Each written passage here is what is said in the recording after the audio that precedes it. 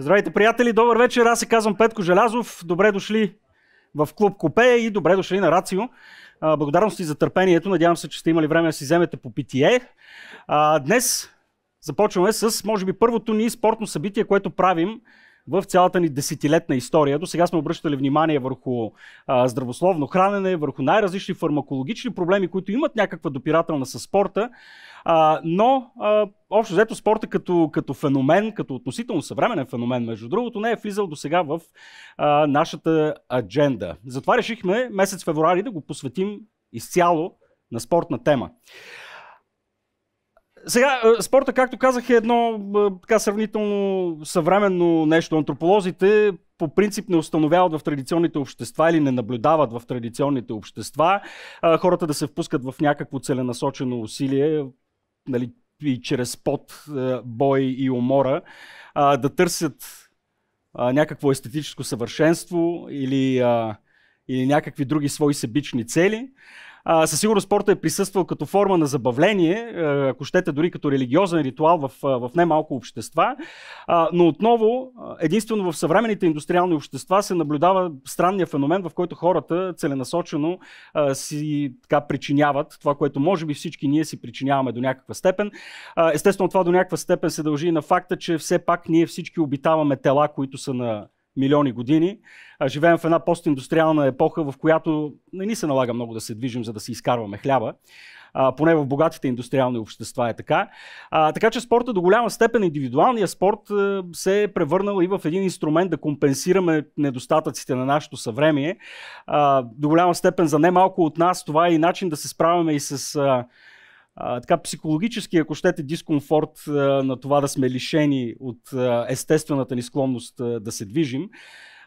Разбира се, излишно е да говорим и за чисто културните аспекти на съвременното спортуване, за образите, които конвенционалните и социални медии, така постоянно, образите, с които постоянно ни захранват и съответно ни изкушават и ние по някакъв начин да се съобразим с тези нови очаквания за това какво означава красиво и здраво тяло. Но това е тема, която вероятно ще обсъждаме в повече дълбочина в нашите подкасти и в другите ни формати в рамките на месеца на спорта.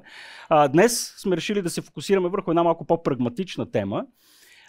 Знаете колко огромна индустрия е фитнес индустрията, хранителните добавки. Фитнес индустрията, между другото, а, съвсем скоро ще удари стойност от 85 милиарда долара, което горе-долу се равнява на брутния вътрешен продукт на България. А, Индустрията за хранителни добавки включая витамини, протеини и прочие други неща, които вземаме за да преборим смъртта а, или за да изглеждаме по-красиви, ще достигне близо 450 милиарда, което е 6 пъти брутния вътрешен продукт на страната. А, очевидно всички харчим изключително много пари, средства, а, време и психическа енергия за това да се опитаме да сме по-здрави и по-красиви. И затова смятам, че е изключително уместно и е така необходимо в съвременната ни култура и в обществения дискурс да се говори за спорта обективно и през призмата на науката. Днес ще постараем да покажем какво науката показва, че знаем, че със сигурност работи. Ще се впуснем в малко борене на митове и митбъстинг. И най-вече ще обърнем внимание върху това как всички ние да мислим за информацията, с която, с която боравим ежедневно. Как да отсяваме плявата, как да откриваме истината, така каквато науката познава за сега. Начинът по който ще протече събитието, ще проведем две дискусии или две изложения, ще видим, може да е по-монологично или по-диалогично. Имаме страшно много информация за споделяне, така че аз вероятно ще седя там и ще, си, и ще бъда предимно красив, а, но ще видим. А, и а, съответно, както повечето от вас са запознати, имаме а, в третия сегмент възможност, в който всички вие може да задавате вашите въпроси към нашите гости, а както вие ще установите, те са много добре информирани по темите, за които ще говорят. Сайтът е sli.do, sli.do с хаштаг Sports. Предлагам да започваме. Първата ни а, дискусия и разговор е с Кирил Русев. Кирил Русев се занимава с здравна журналистика близо от 10 години.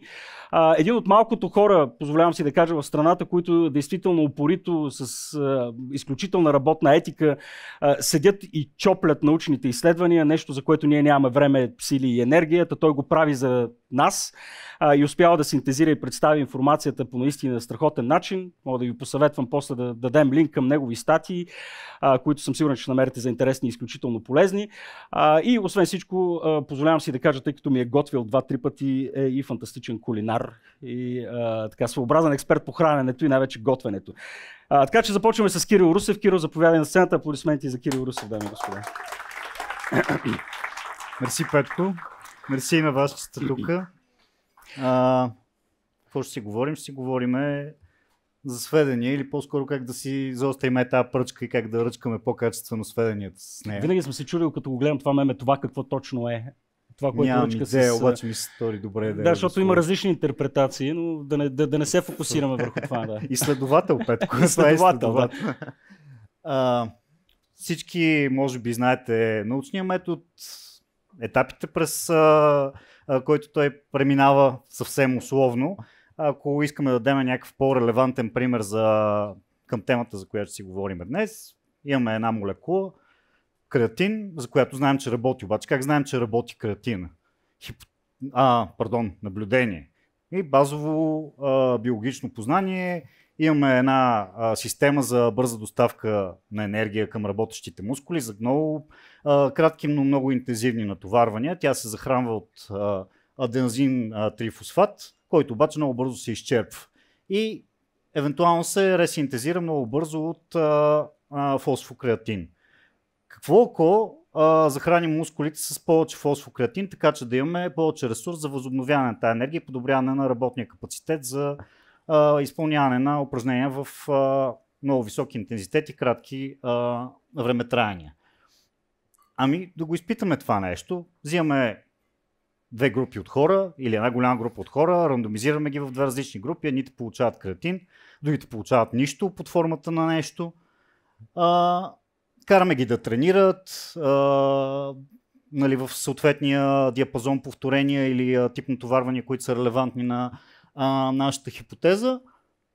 Измерваме им резултатите, след което ги подлагаме на анализ и ако статистиката е благосклонна, изкарваме ни а, статистически, а, пожелателно а, клинично релевантни резултати и казваме креатина работи. Но креатина работи за сега само в това изследване.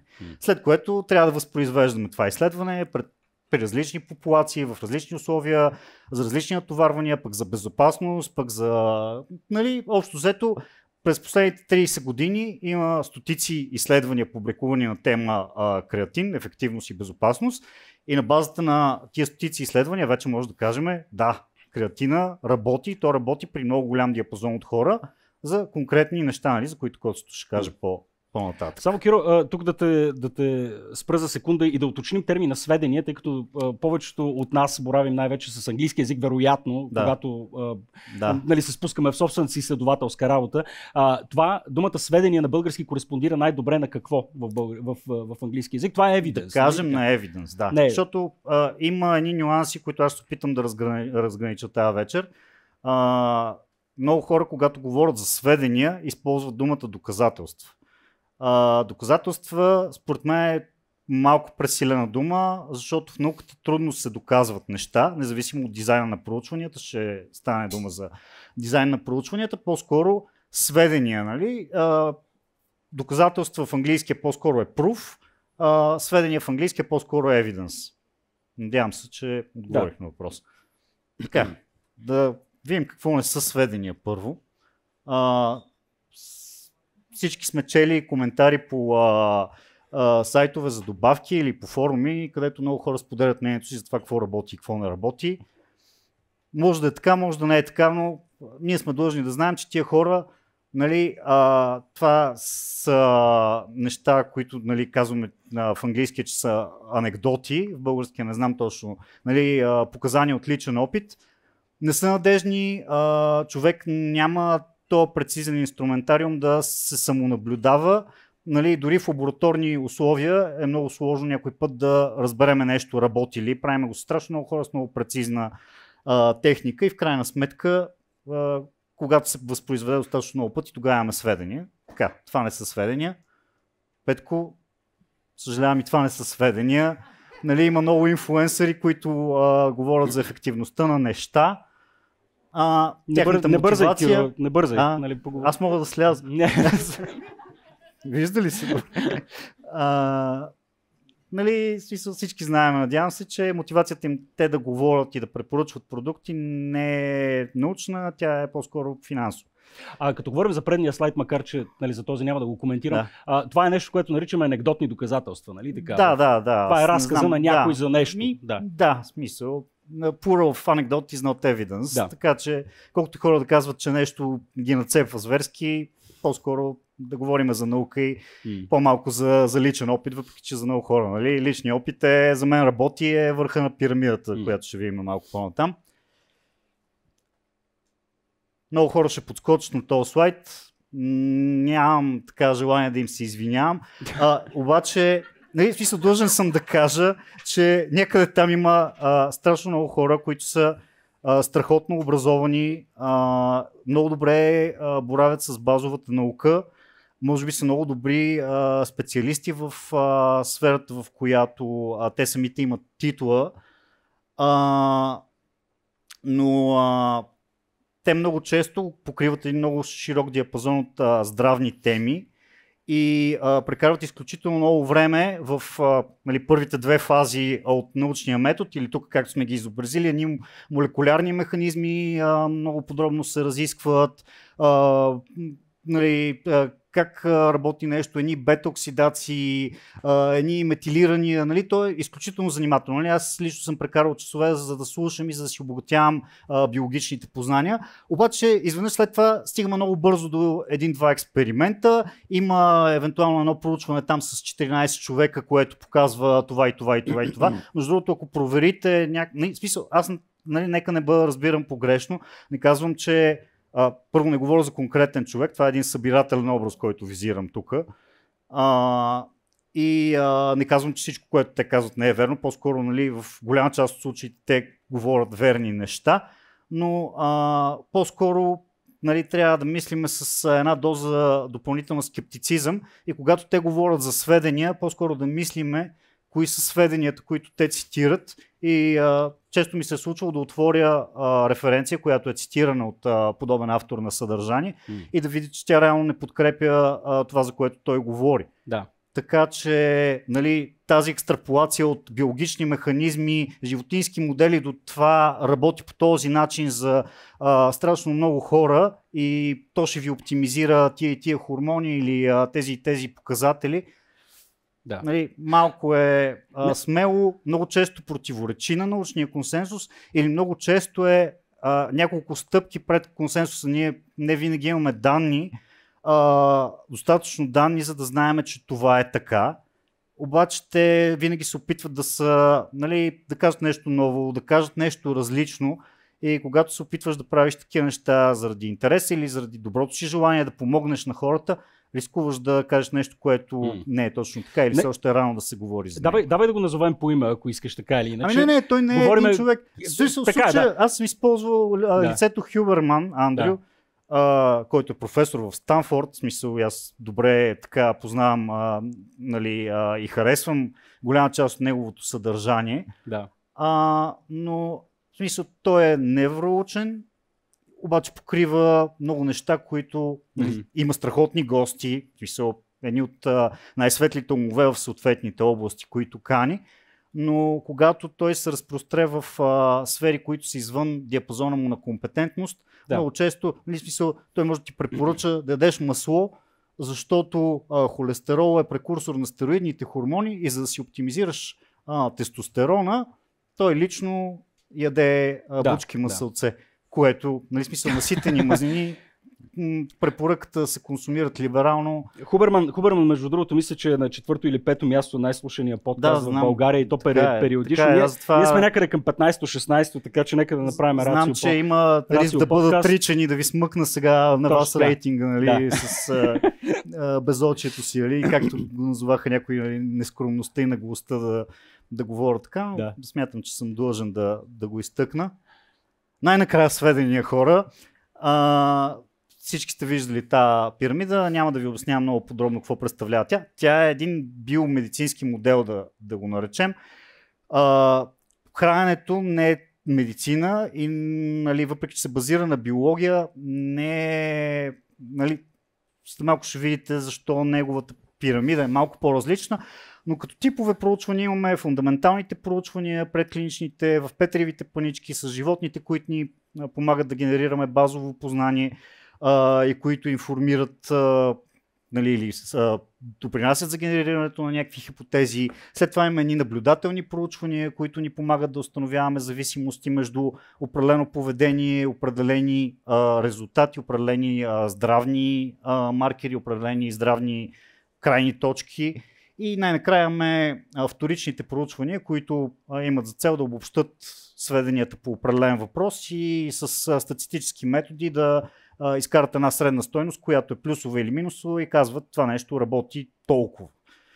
Най-грубо казано, а, в хранителната наука тази пирамида е малко по-флуидна. Тук нямаме тази стрикна иерархия, в която едни проучвания, които са по-горе, са по-верни от проучвания, които са по-долу. А, повече преплитане има между различните нива и не е задължително, а, ако това проучване от, нали, ще говорим в подробности за рандомизирани проучвания и за а, кохортни или наблюдателни изпитвания, а, ако това проучване противоречи на това, това да цака това. Нали, смисъл, затова не е белот, защото а, нали, аз имам тук едно проучване, което оборва твоето, защото твоето е от по-низко ниво на пирамидата ще, ще видим защо трябва да се гледа методологията на самите проучвания и защо понякога а, проучвания от а, по-долен долен слой на пирамидата, условно казано, а, са по-способни да отговорят на въпроса, който ни интересува. И в крайна сметка, нали, да не забравяме, че пирамидата не се гледа по слове, тя се гледа в цялост и винаги гледаме какво а, казва тази конвергенция или тази нали, цялост от сведения по един въпрос, а не е да избираме определени проучвания, които са в а, синхрон с а, това, което м, нали, нас ни харесва да, да е вярно. А, към наблюдателните проучвания, един от а, бащите на епидемиологията е Джон Сноу, който подобно на своя фиктивен адаш, още на времето е бил обвиняван, че нищо не знае. И така и до днес неговата наука много често се а, е бива обвинявана в а, същото, защото епидемиология, нали, те там ни въпросници, те ни глупости и такова, те изкарват корелации на всичко с всичко, ще видите нали, в подробности, обаче епидемиологията всъщност е а, а, така, дялът от а, хранителните, нали, а, метода в хранителните науки, който служи като фундамент на много от са абсолютно всички хранителни препоръки на национално, наднационално ниво а, се извеждат основно от епидемиологични а, сведения. И една от причините за това е, че епидемиологията може да проследява огромни групи от хора в много а, дълги периоди от време. Защо това е важно? Защото храненето работи бавно. В смисъл, нещата, които в момента ни интересуват от гледна точка на храненето като а, здравословно състояние, за да се развие едно състояние, което е резултат от храненето, нали, за разлика от дефицитите, които са били проблем на много поколения назад, да кажем, все още са в някои държави, но за нас като развито общество и модерните заболявания, по-скоро, които са свързани с енергиен ексес, нали, стластяване или пък а, недостиг на определени вещества в а, такива неоптимални количества, те отнемат много дълго време и епидемиологията може да, да обхване тези дълги периоди от време и да, да установи тези зависимости между хранене и здраве, които ни интересуват. А, една от критиките, а, която често чуваме по отношение на епидемиологията, те събират информация с въпросници. Аз не помня какво закусвах вчера и как техните въпросници могат да събират а, валидна информация. А, първо, а, всяко епидемиологично изследване валидира своите въпросници чрез а, по-прецизни методи, като да кажем биомаркери или като а, хранителни дневници. Взима се подизвадка от извадката, която изследваме и там караме хората една седмица или две седмици или три седмици стрикно да си водят дневник и да си теглят храната, за да можем да съпоставим след това тези показания с а, въпросниците, които те са попълнили, да кажем, ми, да, тук имаме добра корелация между а, това, което е реалността и това, което е някаква естимация на база на този въпросник. Нали? Тук важното друго нещо е да кажем, че въпросниците в, в, в, в епидемиологията не целят да установят ама ти точно колко грама месо си ял вчера. По-скоро те установяват средни нива на приеми. Те са много добри, добри в установяването на тези нива в повечето случаи за повечето храни. И след това разпределят хората а, по а, нива на прием, за да могат да направят един градиент и да се сравняват как примерно а, от по-низко, по-високо и най-високо ниво на а, прием на съответни хранителни вещества или макромолекули а, се влияе състоянието, което ни интересува. Така че въпросниците работят в повечето случаи за повечето цели на а, хранителните науки. А, друго важно нещо за а, епидемиологията и за въобще за храненето, нали, защото ние, това, което казах за а, медицински науки и хранене и а, изпитвания, примерно на лекарства, а, и защо, примерно, там рандомизираните изпитвания са много ценни, защото нещата, които там ни интересуват като фактор, който променя човешкото състояние, а, те не циркулират в организма обичайно.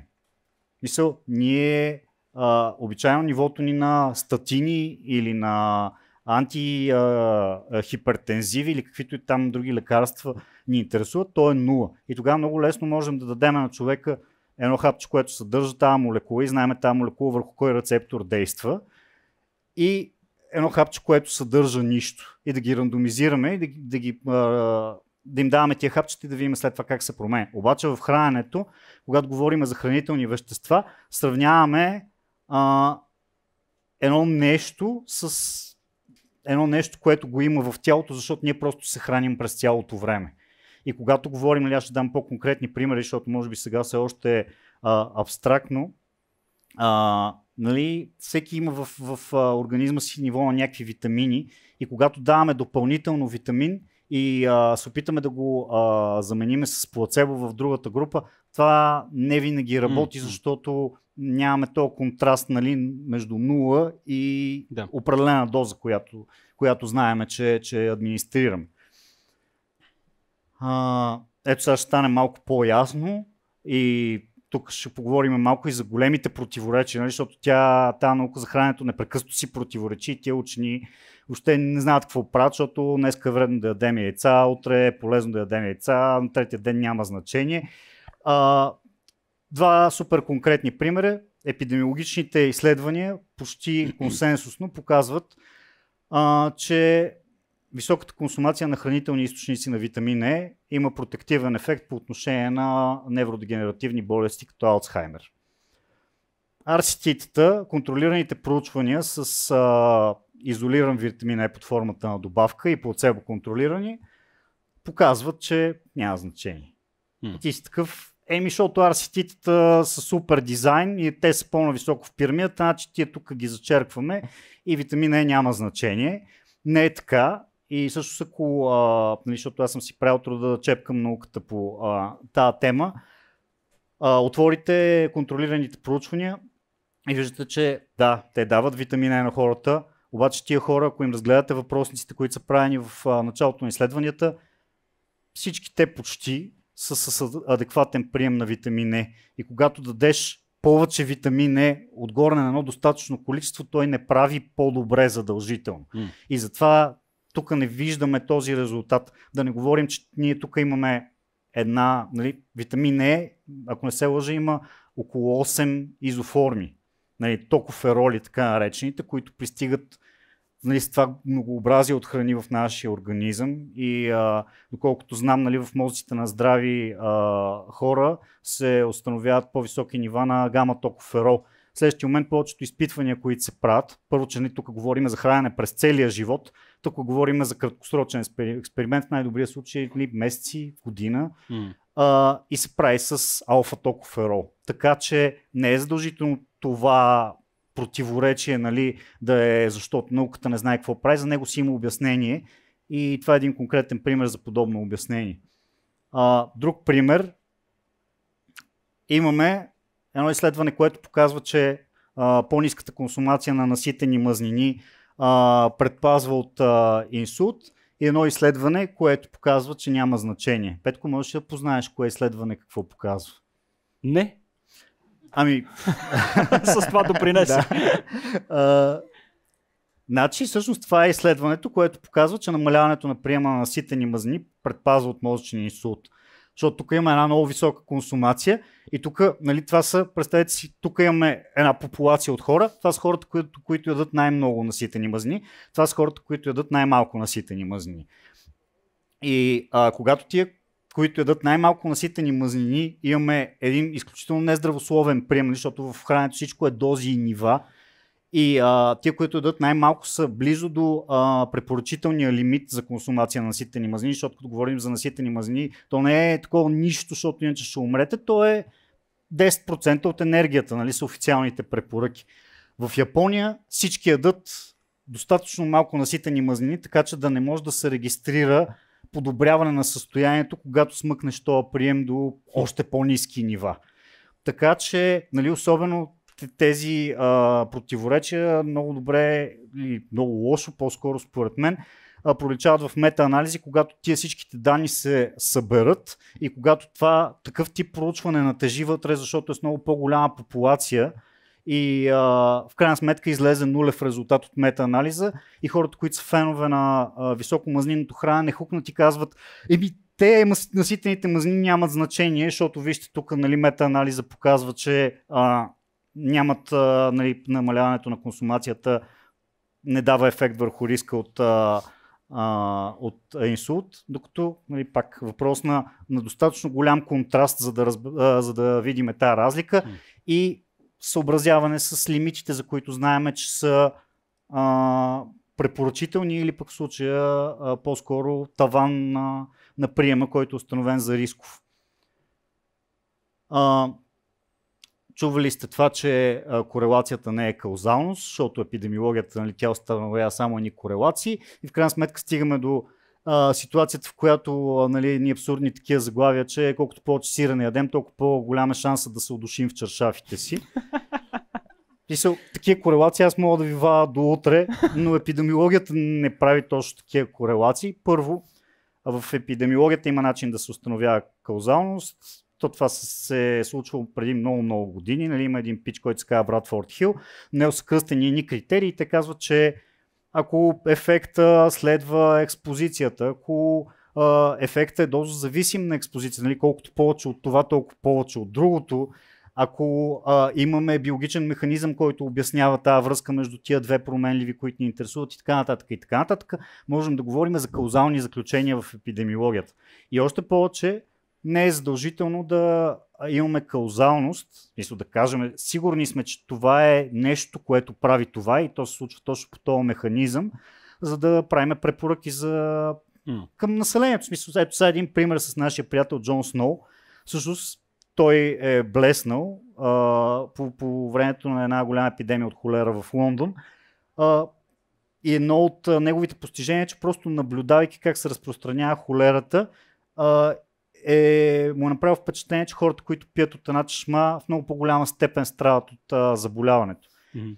Нали, а, и с а, големи усилия е стигнал това да бъде премахната ръчката на помпата и в момента в който това се е случило, защото това вече е публична политика, нали? Mm. спираме ви водата, нали? голяма драма, защото те не са вярвали, че това е причината. Обаче веднага е секнало нали, разпространението на холера в този квартал.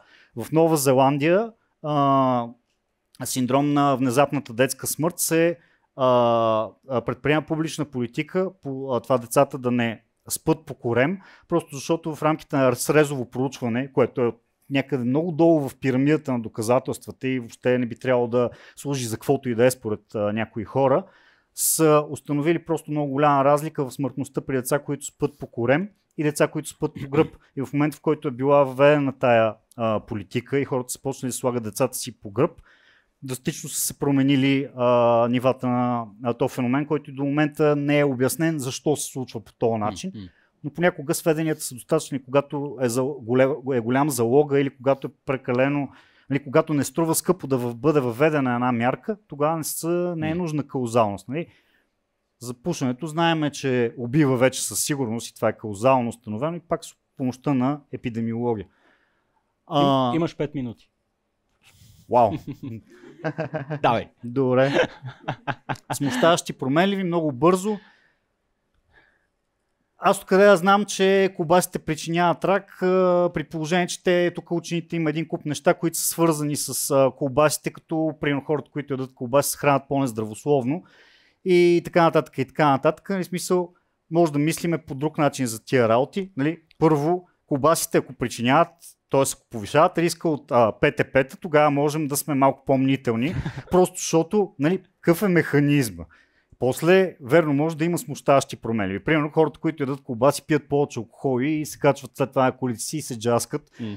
И ако това не е включено в статистическия анализ, а, като а, потенциална нали, променлива, за която да бъде контролирано, нали, за която бъдат внесени статистически корекции, си казваме, ми да, то малък риск тук може би е а, се дължи на, на липсата на нали, наличието на някаква смущаваща променлива. Обаче, когато имаме такава връзка и риска е толкова по-висок и а, имаме биологичен механизъм, който знаеме, че стои зад тази връзка потенциално като а, голямо ниво на желязо в а, червеното месо, а, нитрити, нали, а, потенциално нитрозамини и така нататък, които нали, сме говорили на други теми, а, как, как работят нали, в тялото и защо може би има значение. И когато видим, че в статистическите модели са отчетени абсолютно всички неща, които могат да са свързани с а, двете променливи, тогава този голям риск много трудно можем да го обясним с нещо, което учените не знаят, ама нали, някакси ние не искаме да приемем, че това е вярно.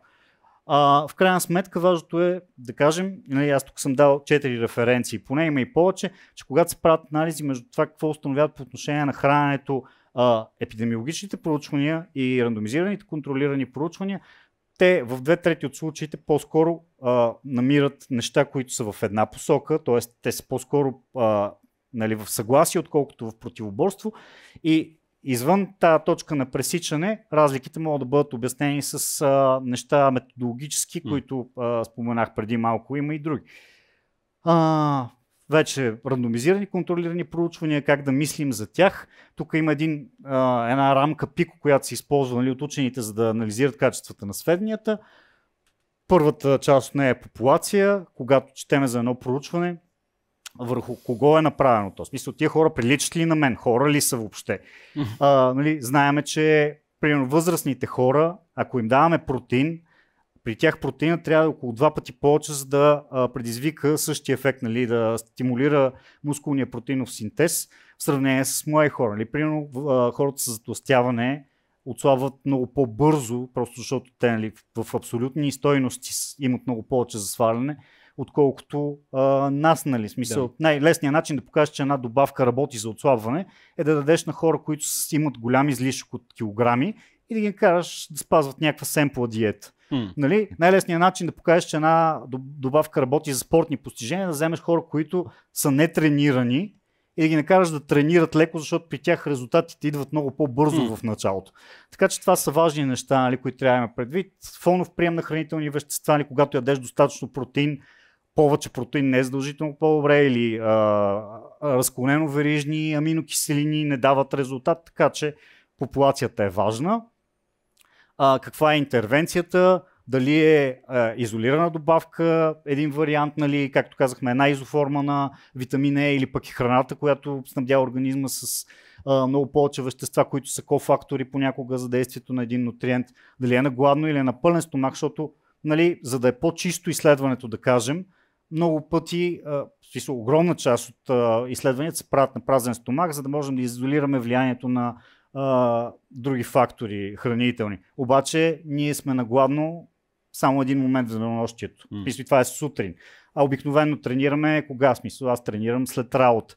Тоест, това екологично валидно ли е? Нали? Тук затова правим разграничението между а, вътрешна валидност, когато нали, изследването е супер стрикно контролирано, знаеме, че това нещо, което гледаме, е нещо, което води до този резултат, който ни интересува.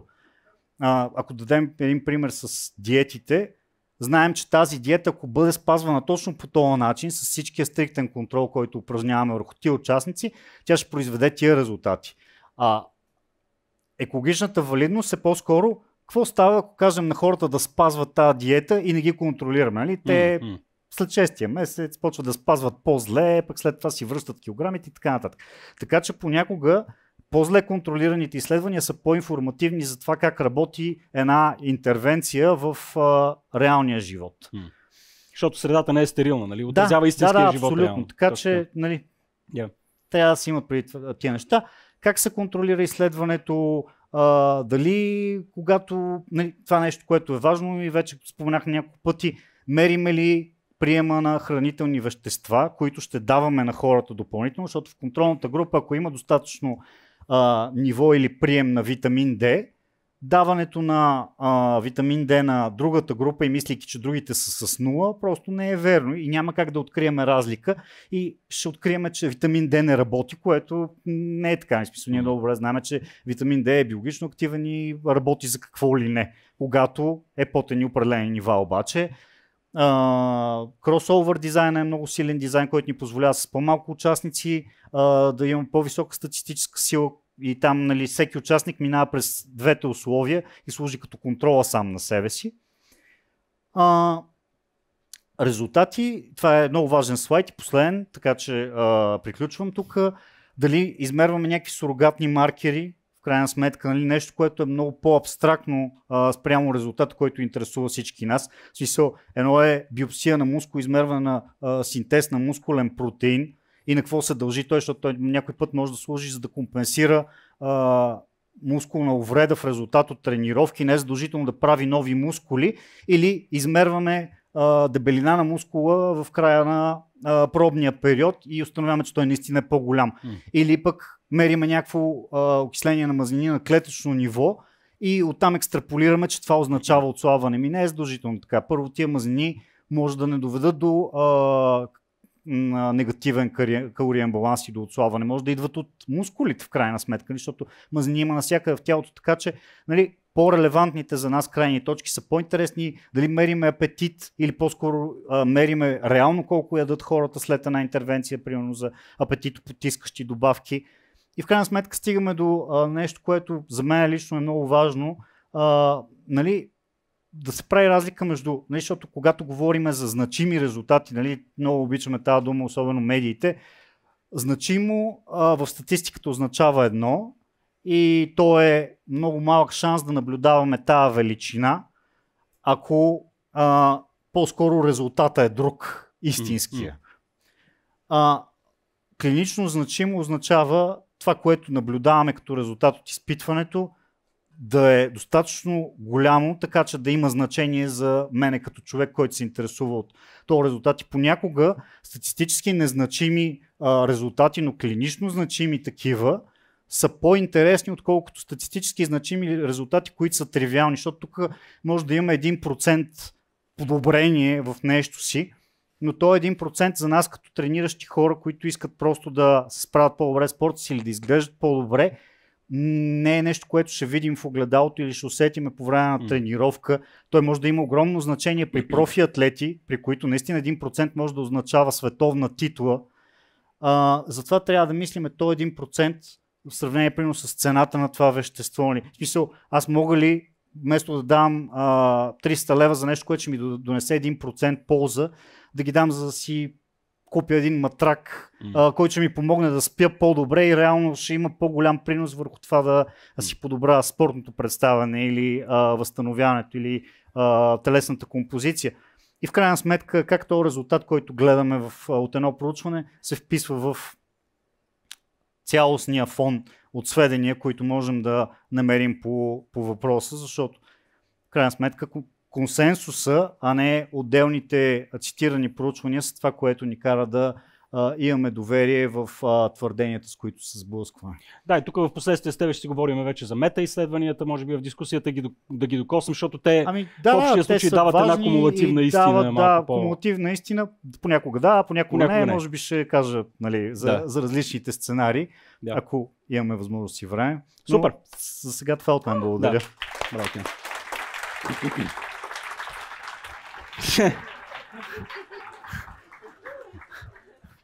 Той е по-здрав от Пулев, между другото.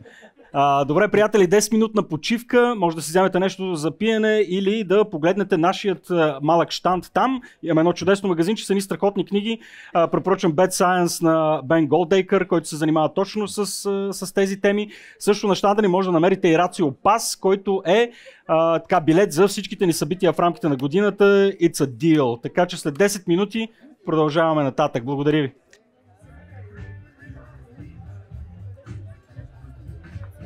Хей, приятели, продължаваме с втората част на нашия евент. А, във втора част ще се фокусираме върху темата за хранителните добавки.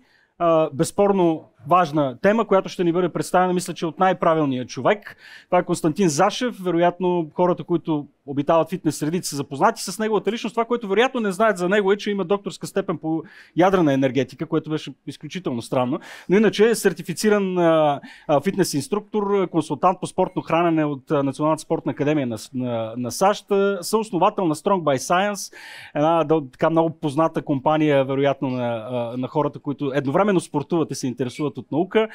Не знам колко хора си тренирал вече, вече Гоци, колко животи си променил, но да, благодаря ти за тази работа и ти благодаря, че днес с нас. Аплодисменти за Костадин.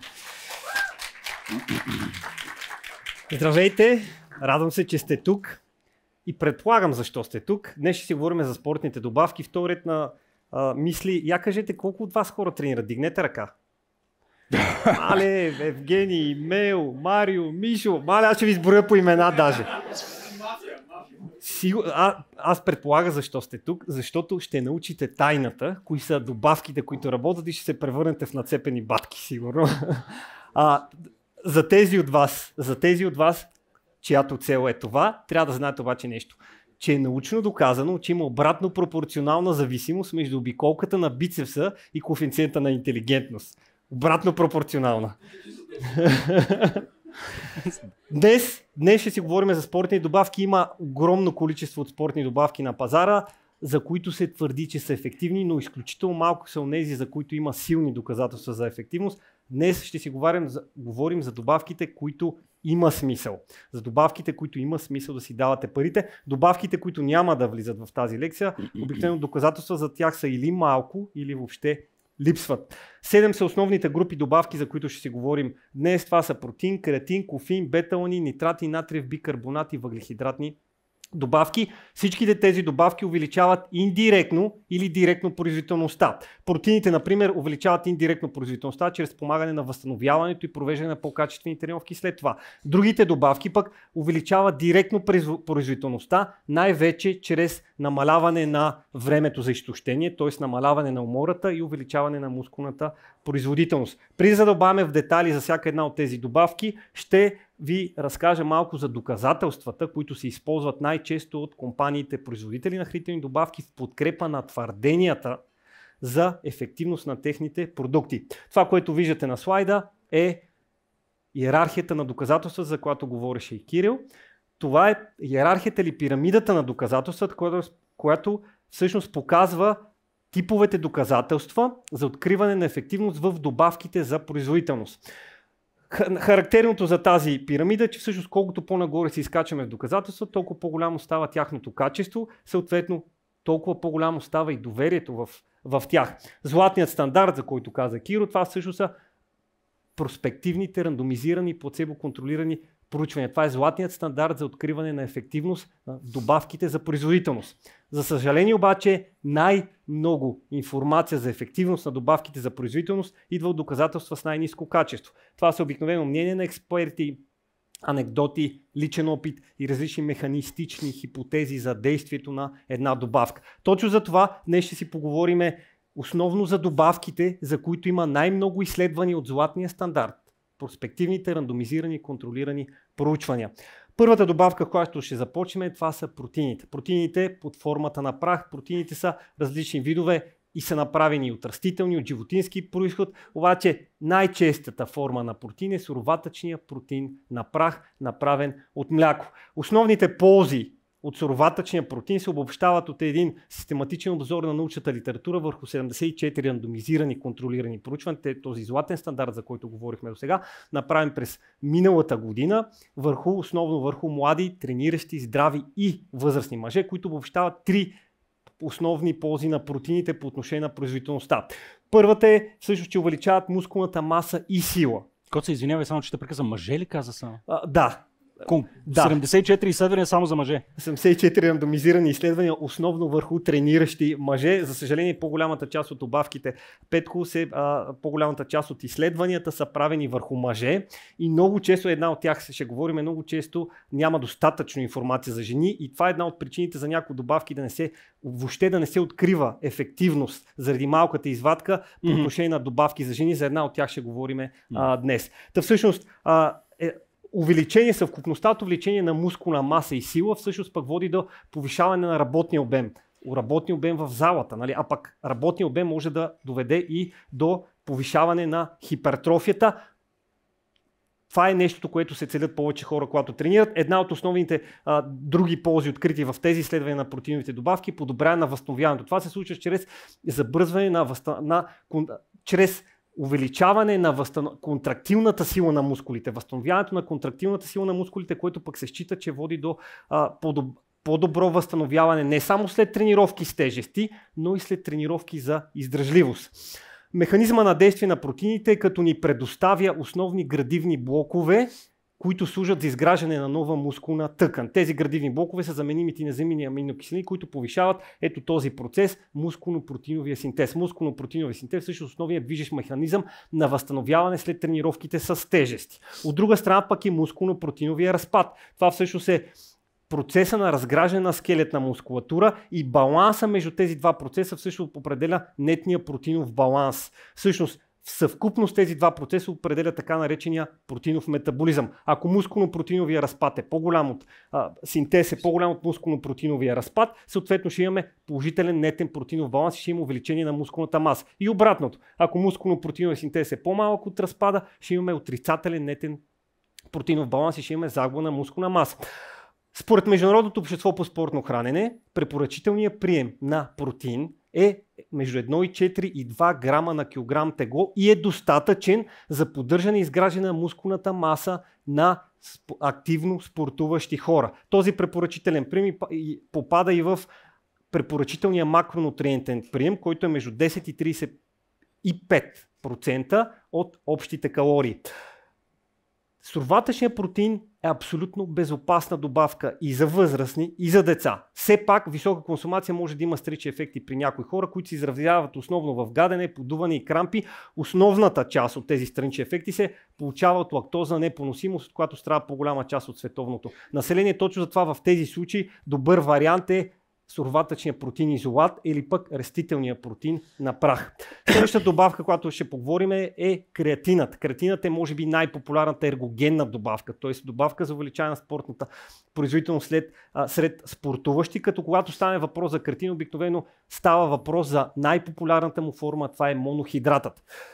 Основните ползи а, на на креатина са в повишаване на креатиновите нива в организма, който води пък до повишаване на производителността и подобряване на възстановяването. Съвкупност тези двете обикновено биха довели и до по-голям работен обем, повече извършена работа по време на тренировка с тежести, съответно и подобряване в мускулната маса, обаче не изследванията, не всички изследвания показват и потвърждават тези полза. Тоест, счита се, че увеличение в мускулната маса е една от ползите на креатина, но все още няма директни доказателства, които да потвърждават тази полза.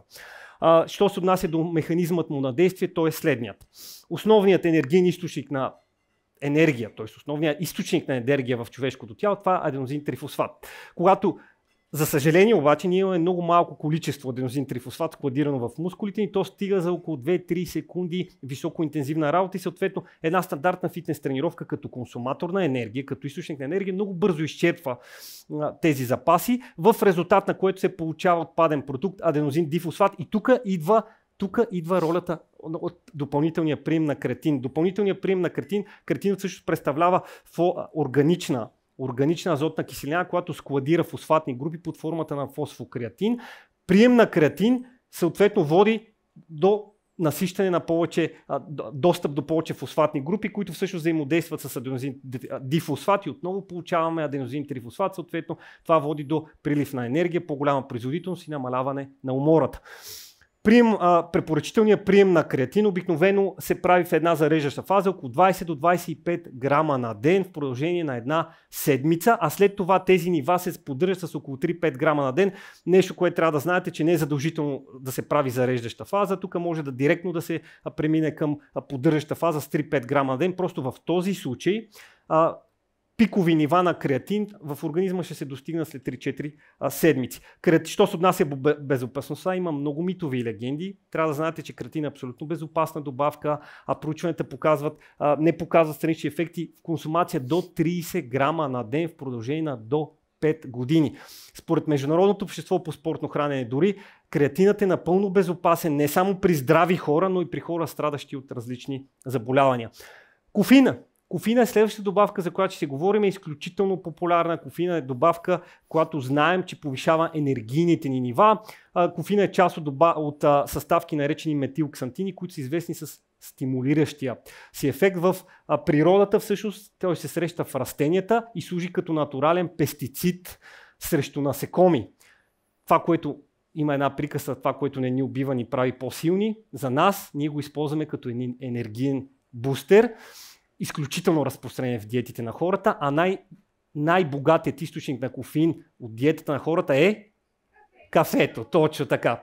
Да, основните ползи на кофина са в три направления. Кофина всъщност повишава силата и издръжливостта, а пък съвкупност на тези ползи водят и до подобряване на производителността. Точно затова кофина е отдавна позната като ергогенна добавка за повишаване на спортната производителност. Какъв е механизма на действие? Има много богата история от изследвания, които проучват механизма на действие, но въпреки това, и както каза Киро, не винаги изследванията откриват точен механизъм и тук все още не знаем със сигурност кой е най-точен механизъм, но има няколко предполагаеми механизми. Аз ще ви кажа по няколко изречения за всеки един от тях. Първи предполагаем механизъм е, че кофеинът повишава, стимулира отделянето на катехоламини това пък повишава нивата на адреналин и норадреналин в тялото, което пък води до генериране повече глюкоза от гликогена, което пък подготвя тялото ни за високоинтензивна работа. Някои изследвания предполагат, че кофина повишава и оксидацията на мазнини, което съхранява гликогена, забавя умората и увеличава нашия работен капацитет.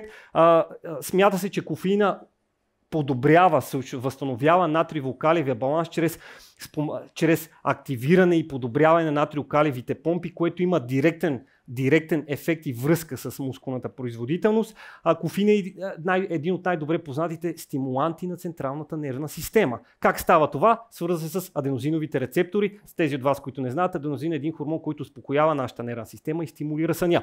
Да, ама като кофина се свърже с неговите рецептори, става точно обратното. Възбужда централната нервна система, дига се пулса, дига се, а, дига се кръвното налягане, намалява се чувствителността ни към болка и, и се увеличава капацитета ни да активираме мускулни влакна. И предпоследния механизъм на действие на кофина е, че стимулира отделянето на калци в мускулите и подобрява калциевия баланс. Защо това е важно? Когато нашите мускули получат сигнал за контракция от централната нервна система, критичната стъпка в генерирането на сила е отделянето на калци от саркоплазмения ретикулум. Това е един мембранен органем в мускулите. Именно кофеина се, се счита, че подобрява това действие. Кофина е една всъщност от малкото добавки, които има приложение в почти всички спортни активности, т.е. той е добър и по отношение на тренировки за издържливост, може да увеличи производителността и по отношение на тренировки с тежести, на силови тренировки. Един метаанализ от 2018 година обобщава 44 рандомизирани контролирани експерименти за влиянието на кофеина върху спортната производителност при тренировки с тежести открива около 2% повишение в спортната производителност. Метанализ от същата година върху 20 рандомизирани контролирани експеримента пък повишава върху тренировки, влиянието за кофина в тренировки с тежести, показва малко, но статистически значимо подобрение в силата и експлозивната мощ. Именно това превръща кофина в добавка за всички видове спортни активности. Що се отнася до приема, има няколко схеми. Най-препоръчваната изследвана в проучване е между 3 и 6 грама на милиграм тегло, взети 30 до 60 минути преди тренировка. А, някои проучвания тестват прием на кофин до 13 мг на килограм тегло. Това е изключително висок прием, но при него не се наблюдават ползи максималните ползи по отношение на производителността се наблюдават до 5-6 мг а, а, и а, на, нагоре вече се наблюдават основно странични ефекти, като става въпрос за странични ефекти. Кофина всъщност, безопасната му доза за повечето възрастни е 400 мг на ден. Имайки предвид тази безопасна доза, сами може да сметнете, че всъщност дори 5-6 мг на килограм тегло може да е опасна, може да е опасно количество. Защо? Защото вземете, например, един 100 кг човек, който приема по 6 мг, това са 600 мг. Точно затова хората, които са чувствителни към кофеина, трябва да имат едно на ум, защото страничните ефекти са много и се изразяват в сърцебиене, главоболие, световърве, те тревожност, безсъние, раздразнителност, а при високи концентрации дори сърдечен инфаркт и смърт. Точно затова в някои държави кофиновите добавки, които са на в течна форма, са силно ограничени, защото има немалко смъртни случаи заради много лесното предозиране. Затова най- най-добрият вариант прием на кофин е, евентуално ако от добавка е на на таблетки. Можем ли да преведем максималната доза кофеин, която казахме, че е безопасна в шотове еспресо? 4-5 кафета. 4-5 да, кафета. 4-5 кафета, 600 мг, около 6 кафета, 6 кафета и 6 кафета взети наведнъж преди тренировка. Такива са нормите, с които най-често се проучват в а, изследвания. Следващата добавка, която ще, която ще разгледаме е беталанина. Беталанина е позната като всъщност не протеинова аминокиселина, защото тя не участва в структурата на протеините. Тя единствената естествено срещаше бета аминокиселина. От храната я получаваме основно чрез съединения като карнозин, които ги има в различни а, видове меса. Може да се синтезира от черния дроб, но може да се взима и от добавки. Тук ще разгледаме приема на тази добавка. Всъщност основните ползи от беталанин са, отново повишение на работния капацитет. Какво е работен капацитет? Това е способността на нашите тела да извършват голямо количество работа. Това се осъществява основно чрез намаляване на времето за изтощение, т.е. намаляване на умората. Съвкупност пък това води до повишена производителност. Доказателствата през последните години за беталанина значително се натрупвах и последните години има проведени три а, големи метанализа в, в повече върху, по, върху 78 рандомизирани контролирани експерименти, които показват, че тези ползи, които виждате, потвърждават, че тези ползи се случват основно при високоинтензивни упражнения с продължителност между половин минута и 10 минути. Това означава, че стандартни фитнес тренировки, при които продължителността е под 30 секунди, няма да имат ефективност, както и високоинтензивни натваряния, при които продължителността е над 10 минути. Основният механизъм на действие на бета-аланина е следния. Упражненията, високоинтензивните упражнения, използват като основно гориво въглехидратите. Вторичен продукт на това е млечната киселина, и което води до подкиселяване на нашите мускули и увеличаване на водородните иони. Това пък води до намаляване на ph и съответно до намаляване на производителността. Защо? Защото нашите мускули губят възможност за контракция в много кисела среда. Те могат да работят в много тесни граници на pH и всъщност точно тук идва тук идва беталанина, допълнителният прим на беталанин стимулира образуването на една молекула наречена карнозин. Тази молекула пък всъщност измуква водородните иони и по този начин неутрализира, неутрализира кисел, тези киселиността служи буфер, като буфер на киселиността. Съответно, това води до неутрализиране, до стабилизиране на pH, до неговото повишение, а повишение в pH пък води до увеличение в производителността. Основно приложение на бета-аланин е при различни спортни активности, като тичане, плуване и кросфит, но основно най-важно, което трябва да запомните, че тези спортни активности трябва да са високоинтензивни, Високоинтензивни. Какво означава високоинтензивни? Означава не просто разходка парка, не едно тичане в парк. Означава високоинтензивни, трябва да се задъхате. Това е обикновено високоинтензивни са тези активности, при които сърдечната частота по време на, на физическата активност е 70-75% от максималната сърдечна частота. Тоест не става въпрос просто за разходка в парка или леко плуване. Става въпрос за високоинтензивна активност и с, отново с продължителност от 30 секунди до 10 минути активност и с по-голяма продължителност при такива при тях не се намира, не се, не се, не се регистрира ефективност. Що се отнася до приема, 4 до 6 грама веднъж дневно е най-често изучавания прием в проучванията. Проблем с този прием е, че най-честият ефект, тези от вас, които са пили преворкаут суплементи с бета-ланин, може би са го изпитвали, най-честият страничен ефект е парастезия. Това е едно усещане на изтръпване на пръстите, нещо като мравучкане. И затова учените препоръчват за избягване на този ефект на парастезия, този прием да се раздели а, по-равно а, на 3-4 пъти през деня между 0,8 и 1,6 грама. Има вече на пазара много формули, които са с забавено освобождаване и може пак да се пие наведнъж и съответно а, да се а, махнат тези странични ефекти на парастезия. Следващите добавки, които ще разгледаме са така наречените нитрати. Нитратите са едни органични съединения, които нашия организъм естествено произвежда от азотни оксиди. Има ги в много голяма гама от зеленчуците. Една от, един от най-богатите зеленчуци на нитрати всъщност е цвеклото.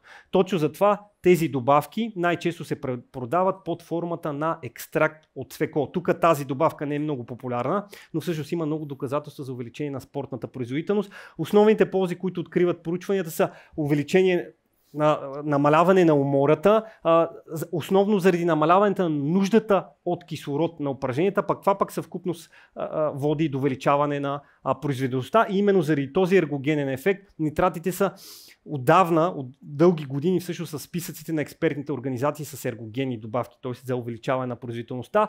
Какъв е механизмът им на действие? Нитратите, приемени прияти чрез диетата, водят до образуване на азотен диоксид, това е другото име на нитрити. Част от тези нитрити пък водят до образуване на азотен оксид, това е есенциална съставка за нашия организъм с много ползи. Счита се, че тя може да влияе върху мускулната функция чрез регулиране на, на, на кръвопотока към мускулите, основно чрез разширяване на кръвоносните съдове, чрез стимулиране на процес на образуване на нови кръвоносни съдове, процес наречен ангиогенеза, чрез подобряване на митохондриално дишане и чрез подобряване на освояването на глюкоза, пак всички тези процеси сами по себе си се считат, че могат да повишат производителността, издържливостта и ефективността на упражненията. Приложението а, според Международно общество по спортно хранене в редица спортни активности, включително както кофина, тренировки за издържливост и тренировки с тежести най-големия метаанализ осъществяван върху най-много изследвания по темата от 2020 година върху 100 рандомизирани контролирани изследвания за влиянието на нитратите върху спортната производителност при тренировки за издържливост, показва увеличение на производителността при високоинтензивни упражнения с продължителност до 15 минути, като регистрираното увеличение около 3%. Тук не е наблюдаван ефект върху жени и върху професионални атлети. Една от причината, най-вероятно да не е наблюдаван върху жени, че няма достатъчно изследвания, както стана въпрос по-рано. Още един метаанализ от миналата година върху 4 само рандомизирани проучвания изследва ефективността на нитратите и в тренировките с тежести и открива увеличение в производителността, което се изразява в по-голям брой направени повторения от групата взимали нитрати и върху а, по-висока скорост на изпълнение на упражненията. За съжаление обаче този положителен ефект е регистриран само върху упражненията за горна част, не и върху упражненията за долна част. Това е причината да не бързаме да правиме категорични заключения. Нали? Както каза Кирил няколко пъти, а, определено когато става въпрос за правене на категорични заключения е много важно да разглеждаме много важно съвкупността от научни данни и събирането въобще на такава съвкупност, за да може да правим на първо място заключения. Що се отнася до приема, най-често препоръчения прием е между 300 и 600 мг 2-3 часа преди тренировка. При този прием, въпреки че са редки, някои хора получават и странични ефекти, които се изразяват в главоболие и световъртеж. Не при всички, обаче сравнително редки са. Следващата добавка, хора. Сигурен съм, че за тази не се бяхте сещали. Това е натриев бикарбонат или обикновена сода за хляб. Сега ще кажете, супер, хлябът е добавка за увеличаване на производителността. Всъщност тази добавка всъщност е незаменима добавка в кулинарията, защото тя води до образуването на въглероден диоксид. И, а, и това са тия мехурчета, които карат кексани и хлябани да набъбва. И освен страхотна добавка в кулинарията, всъщност проучването показва, че тя има невероятен ефект за намаляване на умората и увеличаване на производителността. Механизма на действие е подобен на този на бета Казахме, че високоинтензивните упражнения увеличават концентрация на водородни иони. Това води до подкиселяване, т.е. до падане на ph на, на мускулите. Съответно, производителността намалява, защото мускулите разбрахте, че не могат да работят в, в прекалено кисела среда, губят възможност за контракция. Тук идва, тук се намесва допълнителен прием на натриев бикарбонат, който увеличава всъщност бикарбонатните иони, които така или иначе се произвеждат в естествени някакви нормални количества от нашите бъбреци. Та всъщност тези бикарбонатни иони се свързват с водородните иони и ги неутрализират. Отново действат като буфер. По този начин начин стабилизират pH-то, pH-то се дига, това води до увеличение на производителността. Това е механизмът на действие. Що се отнася до приложението, отново тук според Според научните доказателства, също приложението на натриев бикарбонат е основно при високоинтензивни упражнения отново с продължителност от 30 секунди, някъде до към 12 минути. Извън този диапазон не се регистрира голяма ефективност, като тук, освен еднократни продължаващи натоварвания, тук различни спортове са многократни често повтарящи се, са, проводени от малки почивки натоварвания, също са ефективни примери за такива спортове с спринтове, плуване, бойни спортове а, и общо взето Общо взето тази добавка, тази добавка е една от добавките, за които има надежди да има ефективност и както, както, а, както и предните нитратите и по отношение на тренировките с тежести, но за сега нямаме доказателство. Що се отнася до приема, приема 200 до 500 мг на килограм тегло, 1 до 3 часа преди тренировка, странични ефекти също са доста вероятни при този прием. Обикновено се изравяват в диария, спазми и слабост и за да се избегнат такива странични ефекти, много често учените препоръчват разделянето на този прием по-равно а, през деня. Последната гама от добавки, които ще разгледаме са въглехидратните добавки за възстановяване на гликогеновите депа. Преди години тук бяха много разпространени сред фитнес средите. Има огромно разнообразие от такива добавки. Основно в момента са, те като цяло са най-разпространени основно сред спортовете за издържливост. Гелове, напитки, храни, дъвки, енергийни барове. Огромно е разнообразието, а механизмът на действие им е много прост. Той се състои преди това той, а, основно това, което откриват проучването за тези добавки е, че са изключително ефективни в намаляването на умора по време на тренировки за издържливост и увеличаване на производителността заради простият механизъм на действие. То е, че въглехидратите са основно гориво по време на високоинтензивни дейности. И тук може да видите на тази графика. От около 70% интензивност, това е 70% от максималната сърдечна частота, 70-75% въглехидратите стават доминантното гориво. И съответно, когато те са доминантното гориво при продължителни активности, води до бързото им изчерпване. Точно затова се препоръчва на, при дълги, високоинтензивни активности едно въглехидратно зареждане на предния ден, защото това намалява умората и повишава производителността. И точно затова въглехидратите са есенциалният нутриент за спортове, в, за ендюранс атлетите, състезаващи се в а, спортове за издържливост. Отново тук най-важното за тях е, че има най-голяма ефективност при високоинтензивни упражнения с продължителност над час и много над час. Над час и много над час. Това са обикновено дълги бягания, плувания, колездене. Точно там имаме нужда от допълнителен а, приток на въглехидрати възстановяване на гликогеновите запаси. Стандартна фитнес тренировка, например, не, не, а, не изчерпва значително гликогеновите запаси, за да има някаква особена а, така нужда от тях. Приемат им се изразява в няколко а, така, схеми и препоръки. Всъщност това, което препоръчат експертните организации е при продължителност на натоварването от час до 2 часа и половина, обикновено се приема от 30 до 60 грама на 30-60 грама на час, като най-често се разпределя по около 15 грама на всеки 15 минути по-равно. Вече при по-дълги натоварвания над 2,5 часа приема обикновено скачане на 60-70, може да стигне и до 90, ако се а, толерира добре. Страничен ефект има доста защото тези добавки се приемат по време на спортна активност и те са свързани най-вече с стомашо-чревен дискомфорт, 30 до 80% от ултрамаратонците, че имат такива гости скоро, получават стомашно-чревен дискомфорт, изразяващи се в киселини, в гадени и в повръщане. Точно затова а, така, тук много са предполагаемите причини. Една от тях е намаляване на кръвопотока към храносмилателната ни система, повишена температура, дехидратация. Точно затова високо концентрираните въглехидратни храни не са много добър вариант. Най-добрият вариант са геловете и спортните напитки, които са с ясно дефинирана така концентрация между 6 и а, 8%. А, така и Накрая да обобщиме добавките, тези, които работихме до тук и най-важното за всичките тези ергогени добавки. За протеина всъщност казахме, че препоръчителният му приеме между 1,4 и 2 грама на килограм тегло, но си струва и има смисъл от него, когато не правиме достатъчно от храната. Когато всъщност надвишим протеина прием до, от около горе-долу 1,6 на килограм тегло, обикновено тези, тези ползи, за които говорихме, изчезват. Тоест има смисъл да приемаме, ако не правиме достатъчно от храната. Протеина увеличаваше, разбрахте, че увеличава и спортната, увеличава възстановяването на контрактивната функция на мускулите, което може да увеличи спортната производителност, включително и при а, тренировки за издържливост. Следващата добавка, която разгледахме, беше креатин. Креатин е добавка за увеличаване на спортната производителност при тренировки с тежести. Казахме около 5 грама на ден след зареждаща фаза, която не е задължително да се прави. Кофина беше добавка за повишаване на спортната производителност и в двата вида натоварвания и тренировки за издръжливост и тренировки с тежести. Най-препоръчвания прием, изследван в проучвания между 3 и 6 грама на, на килограм тегло. Казахме за бета аланина, че всъщност е добавка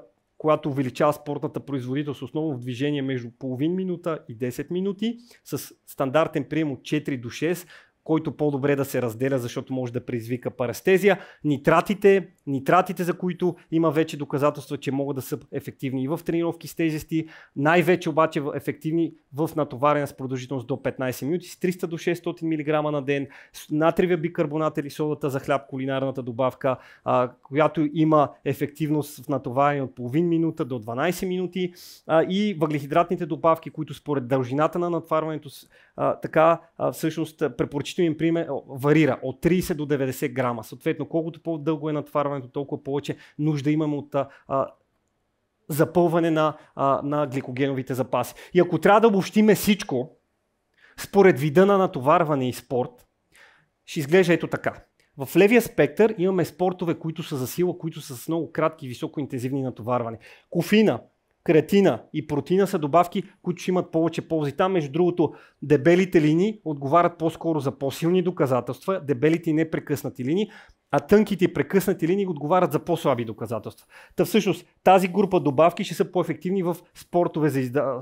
по-силови спортове, какъв, какъвто може да кажем, че и фитнеса, нали, стандартни фитнес тренировки. Бета-ланина, кофина, протеина, натриевия бикарбонат и нитратите са повече добавки, които биха имали ефективност в високоинтензивни упражнения с някаква средна продължителност, грубо до около 15 минути. И въглехидратните добавки, кофина и протеина биха имали ефективност повече при много дълги, високоинтензивни натоварения над час и много над един час. От всичките тия добавки сигурно Забелязвате, че всъщност кофина и протеини са добавките, които евентуално имат някакви, имат доказателства за ползи в двата края, края на този спектър. Тоест и в тренировки за сила, които са характерни с, с къси високоинтензивни натоварвания и тренировки за издръжливост, които са характерни с много продължителни натоварвания. Най-важното, което трябва да запомните обаче е, че тези добавки не са магически. Тези добавки не са магически и има смисъл от прием на тези добавки е при балансиран нутриентен прием с цел избягване на нутриентни дефицити. Тоест, тоест максимален смисъл ще има, когато имаме една балансирана диета, която намалява вероятността, намалява или изключва вероятността да имаме нутриентни дефицити. Под нутриентни дефицити разбирайте дефицити на витамини и минерали. Благодаря ви.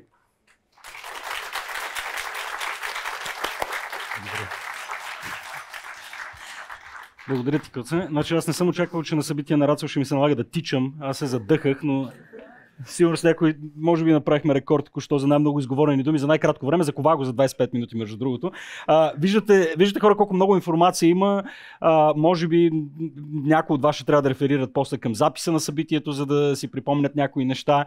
А, така че, да, темпото е високо и така ще продължим и в рамките на дискусията. Само искам да ви кажа за следващото ни събитие няколко думи. На 21 февруари отново тук в Копеш ще говорим за екстремни спортове а, и за така, крайните натоварвания на човешкото тяло с Силвия Рашкова, която е национален рекордьор по свободно гмуркане на дълбочина и е съответно треньор в съответната дисциплина.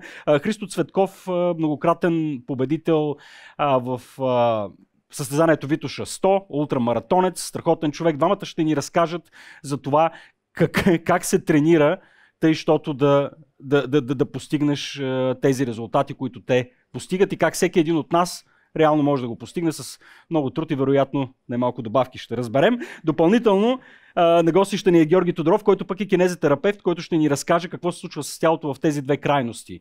В това да седим в офиса и да не се движим изобщо и в крайността на това да тичаме 200, 200 км в пустинята. 21 февруари в Копе, купете си билети от сега, а 5-6 минути почивка, буквално санитарна и продължаваме с дискусията.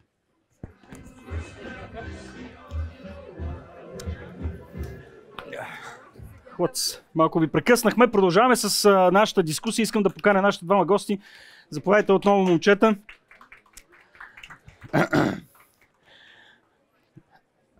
Така, аз отново да ви призова, сайтът е sli.do, sli.do с хаштаг sports. Задавайте вашите въпроси. Може да са от всякакво естество. Виждате, че момчетата знаят за какво говорят и говорят бързо, така че надявам, че имаме време да го покрием. А, добре, дай да започнем тогава с а, първия въпрос. Току-що разбрахме какво знаем, че работи според науката. Какво знаем със сигурност, че не работи?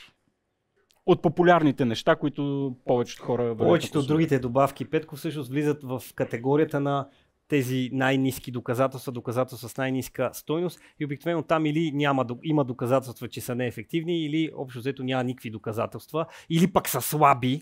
А, като цяло, а, другите добавки, които всъщност са преекспонирани и всъщност знаеме, че по-скоро не работят или пък няма достатъчно доказателства, това са тестостероновите бустери, например. Едни от тях са добавката бабини зъби, например, много често тук. Ние, ние, имаме, ние имаме, това е добавка, ние имаме много корени тук българското производство тази добавка, защото се водим, че сме едно от местата в света, с, в, които концентрацията на активна съставка на сапонини в тази билка е много висока и я препоръчват наляво и надясно. Всъщност тази добавка е ефективна основно при м, еректилна дисфункция, не при хора, които са с нормални тестостеронови нива, а, но в същото време не пречи се стимулира като някакъв тестостеронов бустер, който повишава енергията, производителността, мъжкото либидо и прави някакви чудеса. Също Добре, да, ние знаем, че с възрастта така или иначе тестостероновите нива намаляват. Да, да, но Така че- при много малка част от мъжете тестостероните ни вина падат по долната граница, кого- което се води за хипогонадизъм. Тогава тази добавка може да е ефективна, когато имаме тестостеронови нива под долната граница. И при някои хора, се, при малка една малка част от мъжете това може да се случи, може да има тогава ефективност. Или при хора, които взимат анаболни стероиди излизат от, от стероиден цикъл, обикновено това са професионалните а, спортисти. И други добавки всъщност са глутамина, която за какво ли не не се препоръчва. БЦА-то за нея има а, а, аминокиселините, за нея има слаби доказателства, че намалява умората, все пак са някакви аминокиселини, които се оксидират по време на упражнения. Няма силни доказателства, че а, повишава, особено пък когато се сравнява с протеина. А, други добавки могат да са даже част от микронутриентите. Например, много често се препоръчва желязо. Желязото се препоръчва за просто за увеличаване на нивата, защото желязото, част от хемоглобина, достани повече енергия, обаче прием на желязо, когато нямаме нужда, е изключително опасна, защото е, желязото е един от минералите, който може да е токсичен. А, съответно, прием на витамин B12. Аз познавам треньори, които всъщност си го слагат инжекционно в дуп. Нали, точно за, от гледна точка на повишаване на спортната производителност. Не знам откъде му е тръгнал мита за това, но няма никакви доказателства, че той увеличава спортната производителност. Киро, по отношение на храненето, витамините е нещо, което хората консумират най-много и те съставляват, може би, най-голямата а, така, пропорция харчове, които хората правят. Мултивитамини и Да. прочее. Имаме ли доказателства за това, че те са първо необходими и че второ могат да повишат по някакъв начин спортните постижения? Еми, по-скоро не. А, в смисъл, сега то зависи, защото мултивитамините то е една много голяма категория. По-скоро нали, трябва да се види продукт за продукт и човек за човек. нали, Защото нали, почти винаги витамини на база на някакви изследвания или на база на някакъв начин на хранене, който ние знаем, че а, в този начин на хранене липсват съответните вещества. Мисъл, нали, за вегани по-скоро има резон за B12, понякога желязо, нали, особено при жените, които губят а, а, желязо а, през а, месечния цикъл а, редовно. Нали? Но, но трябва по-скоро да е диагностицирано или да имаме голяма сигурност, че това нещо не го приемаме в адекватни дози. Нали? Както е, да речем, рибеното масло. Хора, които не ядат риба, те нямат начин да си а, набавят а, омега-3. Тогава по-скоро фокусирана добавка с омега-3, нали, дълговерижни масни киселини от а, риба или за, от а, алги нали, за веганите е оправдано. Но мултивитамини нали, с а, големия черпак, първо те са в много ниски дози а, и ако имаш дефицит, шансът те да ти коригират този дефицит при това бързо е а, минимален. После, че а, някой път нали, а, в тия формули има неща, които а, взаимно може да си блокират освояването, защото се конкурират за един и същи а, транспортен път в организма.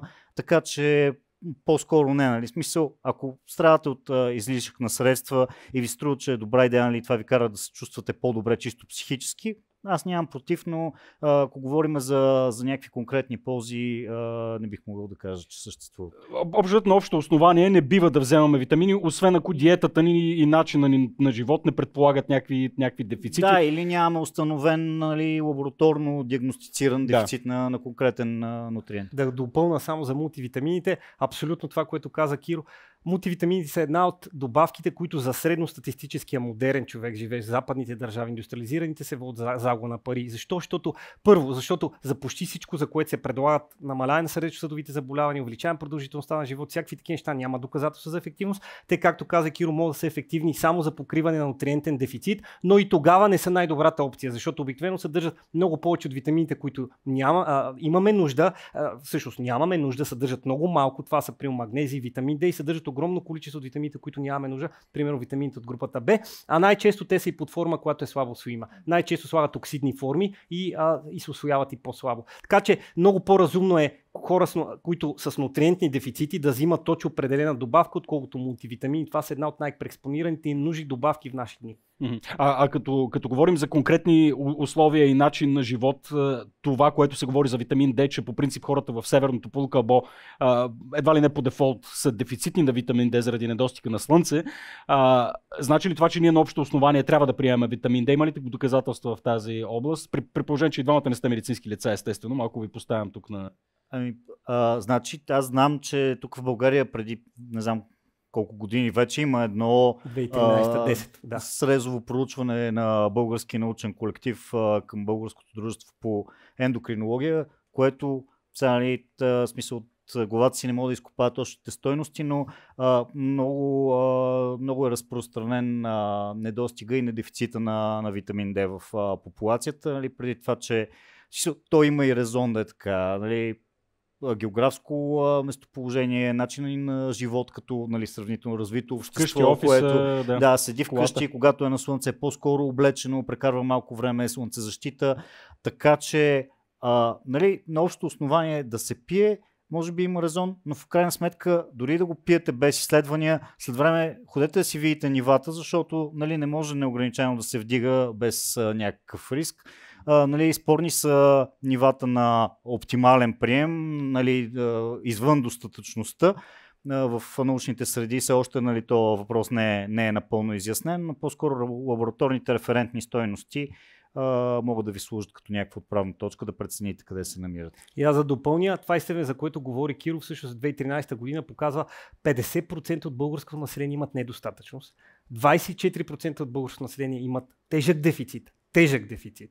Само 25% от българското население има достатъчни нива. Тоест 75% от българите, тук ако хванеме хората, 8 от 10 човека ще имат недостатъчност или дефицит. Това е най-разпространеният витаминен дефицит в света с разпространение около 1 милиард души в световен мащаб. Основно, както каза, защото ние имаме си го набавяме от слънцето, дори концентр... концентрираните храни на витамин D съдържат много малко, за да си го набавяме. Съответно, най- най-проблематични са зимите, защото не виждаме слънце и обикновено най-тежките дефицити са излизане от зимите пролета. Затова тук, ако, затова тук се препоръчва се зима, не толкова заради някакви ползи, там има цяла митология около него, колкото заради предотвратяване създаване на дефицит. Нали? Около, зимата, най-често зимата, около 800 до 1000 единици на ден е препоръчено се взима и възрастните и децата са най-рискова група, защото а, те приемат по-малко и съответно ли произвеждат по-малко чрез И само за да уточним, витамин D беше за регулация на имунната система и за да ефективно Тоест, да какво ли не се изследва, нали, то основната му функция е като нали, самостоятелно първо като ефект върху костното здраве, после като а, подобряване на освояването на, на калция а, в червата, така че нали, за а, минералната плътност на костите е от а, голямо значение. Да, мисля, може да модулира действието на имунната система. Изследва се а, каква е връзката между различни нива на прием и рак, но там науката е абсолютно нали, все още е да. а, на тъмно. А, така че той е, нали, той е прохормон, де-факто, нали, той е различен от останалите витамини и взаимодейства с много органи и, и системи в тялото и те първа нали, в момента излизат страшно много а, проучвания във връзка с витамин D, но това са основните неща. Да, нали, които... Над 318 ползи по отношение на здравето, с които се свързва, единствените сигурни са по отношение на костните здраве. Костното здраве, много са валини нещата, които каза Киро за различните изследвания там, че всъщност свързват много изследвания, го свързват с много ползи, но единствените сигурно доказани са за костното здраве. Рахит и остеомалация при възрастни, рахит при децата, предотвратя рахит при децата. А, добре, важна тема, която не засегнахме преди да преминем през, през а, някои от конкретните въпроси от публиката. А, нека да поговорим за, тези, за тези мета стадита или така наречените мета изследвания, изследвания на изследванията, които нали, по някакъв начин така синтезират информацията от множество изследвания, провеждани през, през, през годините. А, каква степен на доверие можем да имаме там? И ами, всъщност зависи, как да мислим за тях? Зависи от мета-анализа. Дали ще може да ми изкарате слайда с мета анализите, защото а, искам да покажа някои стойности. Uh, метаанализите са супер инструмент, особено uh, супер инструмент са в, uh, uh, нали, когато говорим пак за uh, медицина, uh, защото нали, по отношение на uh, лекарствата нещата са много по-стандартизирани. Uh, само, че като говорим за хранене и въобще нали, има, има проблем с метаанализите от гледна точка на това, че те са а, колкото полезен, толкова и много достъпен инструмент. Защото за да направиш едно епидемиологично проучване, трябва нали, страшно много ресурс, екип, а, а, определено оборудване, рандомизираните проучвания също са много скъпи. А, нали, там се заплащат често и на участниците, за да, за да се включат в тях.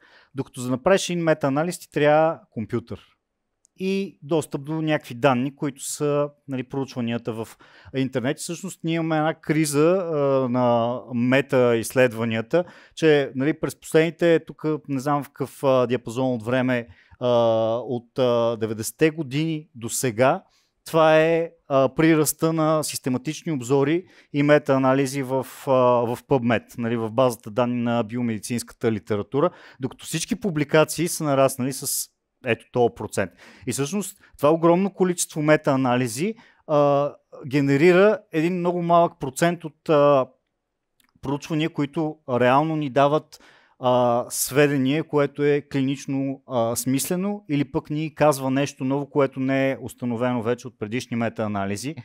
И а, ако можем да отидем на следващия слайд, много често метаанализите, които в момента се продуцират, са ето такива. В смисъл, ние имаме 4-5 проучвания по дадена тема. И някой хваща и прави мета-анализ. Нали? Смислен мета-анализ, поне за мен лично е, когато а, в резултат от научния метод се агрегира някакво количество изследвания над 10.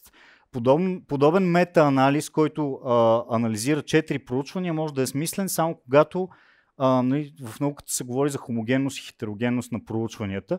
Хомогенни проучвания са проучвания с ходен дизайн върху еднакви популации, които mm. тестват едно и също вещество в една, една и съща формула, буквално, нали, ако говорим за витамин Е, ако трябва да се върнем на моят пример, една и същата изоформа, такива и такива дози, при такова и такова нали, фоново ниво на прием, при такива хора за такъв период от време, тогава мога да кажем, че това са хомогенни проучвания, които могат да бъдат вкуп, вкупчени в един метаанализ и този метаанализ да даде някакъв смислен отговор на въпроса, приема mm. на синтетичен витамин Е, как влияе върху риска от невродегенеративни заболявания. Обаче, когато имаме много хетерогенни проучвания, които, примерно, ето сега този конкретен пример, аз не случайно съм го избрал, тук имаме в този метаанализ три проучвания, които дават а, отрицателен резултат, т.е. те дават нулев резултат, защото тук доверителният интервал пресича нулата, и едно проучване, което дава, което дава а, клинично и статистически значим резултат. Обаче това проучване е толкова а, многочислено, че то натежава реално в метаанализа и буквално обръща цялата наука с главата надолу, така че резултатът от метаанализа по-скоро се базира само на едно единствено проучване. Тия трите тук тотално ги а, зачеркваме. Особено когато имаме находки, които противоречат на този минимален, нали, да го наречем, консенсус поради липсата на по-добра дума. И а, тук единствените находки, които противоречат на това, са от един и същия автор. Това по-скоро за мен е червена лампичка, че нали, тук или някой се е базикал с а, данните, или просто е твърде ранно, за да си правим изследвания на база на точно 4 изследвания, които са толкова разнопосочни, толкова хетерогенни. Така че метаанализите нали, могат да бъдат супер полезни, когато има много агрегирани сведения и когато се правят от човек, който разбира от а, материята, която анализира. Нали, защото, както говорихме нали, за а, интернет инфлуенсърите, нали, гурутата, ако те, те могат да са много учени в една сфера, обаче когато тръгнат да а, интерпретират науката в друга сфера, тогава има риск от а, грешки. И да. много често метаанализите те се правят от хора, които са статистици, но те не са експерти по храна и те гледат на данните а, нали, примерно за, за тях контраста в нивата на прием при наситените мазнини, за който говорихме, това не е нещо, което, което е значимо и те съвсем спокойно могат да обединят изследвания, в които нали, сравняваме буквално ябълки с круш и в крайна сметка казваме ми ябълките, примерно, са... Да, да. Това мисля, че беше, беше наистина важно да го уточним, тъй като много често чуваме, както ти каза, от инфлуенсъри в медиите, мета изследване ами да, да, показа... Те, са там на върха на пирамидата. Да, нашия рефлекс обикновено е като чуем мета изследване, че това е... всичко с мета-анализа. Да. Не винаги е така, има страшно много мета-анализи, които са подвеждащи или просто е твърде рано за мета-анализи. Ако имаме такъв мета-анализ, в който всички изследвания сочат в определена посока или поне са с а, сходен дизайн, тогава може би да. Но нали, оттам нататък вече е хубаво да, да, да, имаме, да имаме повече сведения и ако, ако в метаанализа, ако, ако разглеждаме то Forest плот, нали, така наречения, ако видим, че нали, статистическата тежест в метаанализа, която е тази стойност тук, идва от едно изследване основно, да влеземе да проучиме това изследване Аджаба какво е направило, нали, го разчепкаме с а, тия инструменти, нали, то пико метод, за който споменах а, в а, моето изложение и да видим дали а, нещото Да. всъщност заслужава тази тежест и дали, а, дали е хубаво да, да инвестираме доверието си в... Това буквално никой тук няма да го направи. А, аз съм убеден в това, да. Но, Но, аз, аз е, не го правя. Да, и затова, и затова трябва да се молим на хора като теб, които да ги събират тия неща и да ни, да, да, да ни кажат истината. Нали? И в случая тук важното като извод е, че нали, трябва да внимаваме с е, изказвания от инфлуенсъри, от... Е, А, ами да, да, защото лидери на нали, един метаанализ, нали, той може да е много качествен и да, да, да а, доказва наистина това, което ни интересува, но много често може и да не е. Затова, нали, а, Да. Добре, два много бързи кулинарни въпроса. Отново към теб ги, ги, ги пускам, Киро. А, кои са най-подходящите мазнини за готвене в тиган, в тенджер и в фурна? И вярно ли е, че seed oil са вредни или така маслата от, от семена? И другия въпрос е в какви съдове готвим безопасно? Нали, там за тефлона се говори рак, предизвиква и така нататък. А, понеже има два Ами, въпроса и са гласувани най-високо, да, да, заповядай. да, да. Ами, Сидос, това е супер голяма тема. Ние за нея трябва да направим, не знам, 4 лекции, М. 5 лекции.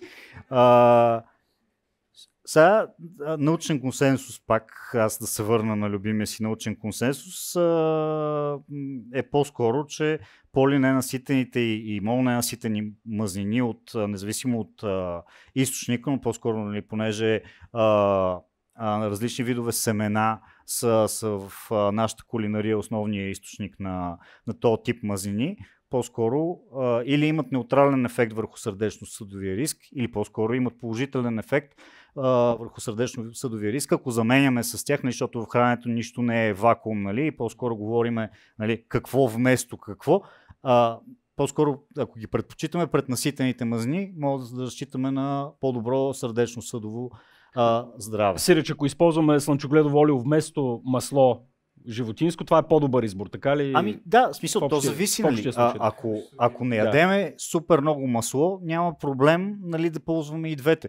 Но ако ядеме много масло и установиме, че нашето ниво на прием е над а, допустимия таван, нали, който е 10% от калориите, М. тогава можем да направим някакви а, целенасочени усилия да заменим част от тази мазнина с а, дали ще е с зехтин, дали ще е олио. Сега по отношение на термичната обработка, честно казано, всички мазнини, които са с кулинарно предназначение, са подходящи за кулинарна обработка. Нали? Има много спекулации с това, че а, той е студено пресования зехтин, защото е студено пресован като го нагрееш, а, нагрееш едва ли не а, нали, става вреден и му изфирясват всичките а, полезни вещества.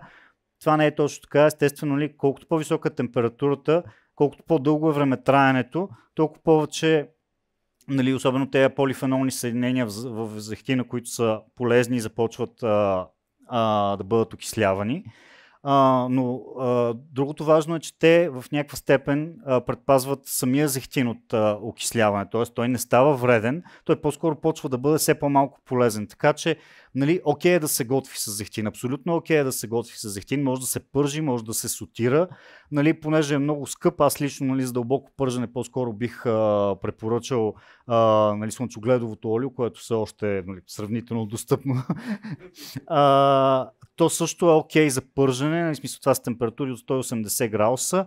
а, тази пословата точка на пушене не е много добре информативна за това нещо а, подходящо ли е за готвене. Тоест нещо може да пуши на 160 градуса, обаче да е а, стабилно на 180.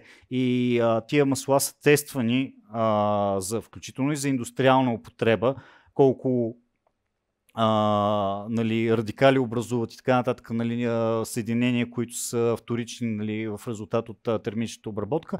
Нали, те, те, те са окей, включително и за многократна употреба. Съветът е нали, след определен брой употреби, нали, това говорим за индустриални условия, те да се подменят.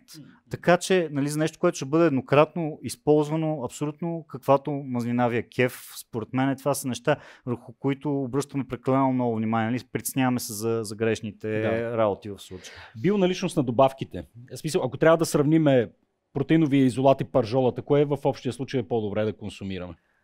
в общия случай е по-добре да консумира това, което ни е удобно и това, което харесваме, да се съобразяваме с личните предпочитания. Аз, например, не ям месо почти не ям никакво месо. От години приемам протеина си чрез суроватъчен протеин на прах. Така ми е удобно.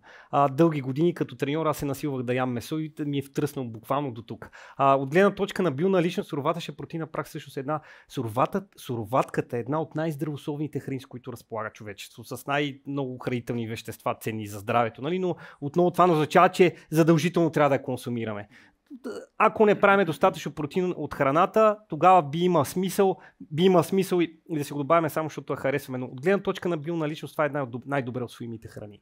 А, дори от тази гледна точка е добра, от гледна точка съответно на повишаване на, на ситоста и на намаляване на апетита също е страхотна и има много ползи свързани с, други са свързани с общото здраве. А, сега тук има въпрос от човек, който явно на ниско въглехидратен режим на хранене. Това вече е съвсем друга тема, която да не, за, да не зачекваме, но не въглехидратна добавка с цел издръжливост и продължителност. А, и тук един свързан въпрос по отношение на въглехидратните добавки, за това колко захари съдържат а, и дали не е по-добре да изедем една баклава преди да тръгнем да тичаме, вместо да вземаме тези. Да, тези, тези да, определено може да си изядем една баклава и, а, и, и ориз и питки и всякакви такива неща в деня в храненето преди състезание, на което обикновено на предната вечер и тогава се препоръчва зареждане с въглехидрати от храната. Тези добавки, са най-оптималният вариант за по време на тренировка. Казах защо, защото всъщност високо концентрираните храни могат да доведат до тези странични ефекти, стомашен дискомфорт, високо концентрираните на въглехидрати. Затова се спортните добавки с точно определена концентрация, 6 до 8%. Това са геловете и спортните напитки. Да, и доколкото знам, те освен това са с определено съотношение глюкоза, фруктоза, Точно защото така. там има и лимит на въглехидрата, който може да се освои през червата, нали, в смисъл чисто транспортно да се транспортира и не може да е произволен въглехидрат, по-скоро нали, се акцентира върху 1% нали, съотношение между глюкоза и фруктоза, за да се максимизира а, освоемостта на тия въглехидрати, да не се предизвика чревен дискомфорт поради ферментиране на някакви остатъчни а, въглехидрати в червата. То, точно за това и ултрамаратонците пият тия напитки и гелове използват, докато бягат и маратонците. Да.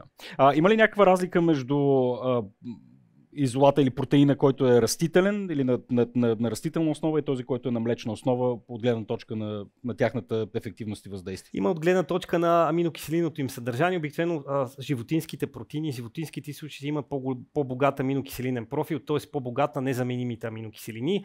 И дълги години това се е пред, предлага като ползи и така нататък, но а, да, всъщност има все повече натрупващи се доказателства, които показват, че всъщност ако приемаме достатъчно количество протеин за деня всъщност и от растителен източник, ползите по отношение на мускулна маса са подобни, стига да приемаме достатъчно количество левцин, това е най-важната незаменима аминокиселина, която стимулира мускулно-протеиновия синтез на хранене. Това е като допълнителна добавка към... А, ако го приема въобще от храната, ако приема от растителен източник, просто проблема с те, най-големия проблем, ако има с растителните източници на протеин, че по-трудно има по-малка концентрация на левцин на една и съща доза. Примерно 50 грама пшеничен протеин се равнява на 25 грама суроватъчен по съотношение на левцин. Минималното количество левцин, което стимулира мускулно-протеиновия синтез. Да. Да. Това е така наречената бионаличност, нали, както казват да. също, че нали, спанака е висок на протеина, но трябва да изядеш една турба, за да, да. А, за да се равнява нещо. Колаген. Изключително популярно, това го пускам към теб. Има ли смисъл от колагенови добавки и нали, хората ги вземат за кости, за кожа, за какво ли не? Каква е историята Ами аз там? не съм много добре информиран а, в, а, в областта, честно казано. Нали, моят поглед е, че ако, ако работеше категорично за нещо, нали, нямаше да ми е минало под радара. По-скоро, а, по-скоро е нали, поредното нещо, което е, което да, е хайп. само да спомена за Да. него. Колаген е абсолютно, а, Киро, общо взето, това, което каза абсолютно вярно. На, има изключително много изследвания в последните години. Само колагеновата индустрия, като част от хранителни добавки е за няколко милиона.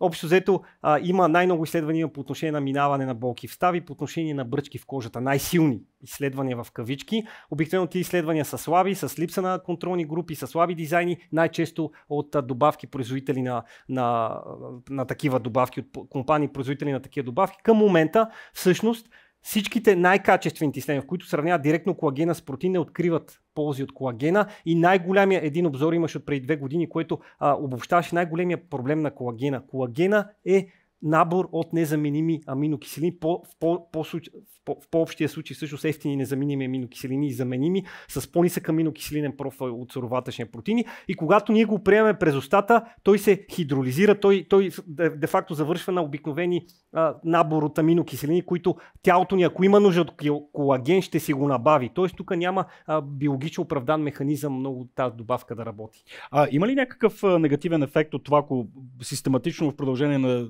продължителен период от време тренираме и вземаме добавки изведнъж спрем и двете? Сега, очевидно, нали, спираме тренировки, ако продължим се храним по същия начин, най-вероятно ще гръмнем.